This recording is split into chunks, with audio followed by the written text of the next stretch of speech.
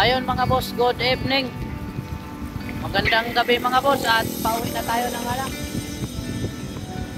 Kakauwi lang natin ng garahe mga boss at pauwi na rin tayo ng bahay. Dito tayo sa ano mga boss?